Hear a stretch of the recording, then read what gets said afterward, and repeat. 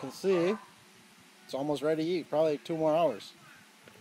And we should be ready to go. So, there you go, a little contraction, contraption. It's working. Okay, bring it to your mommy. Just put it on the ground, Aubrey.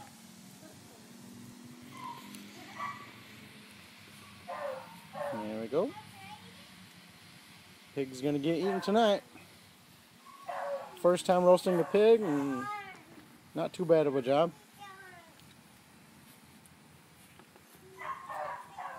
Homemade uh, spit rotisserie uh, grill.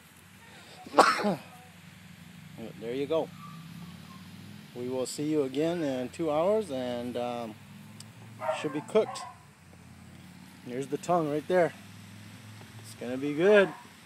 Mm-mm.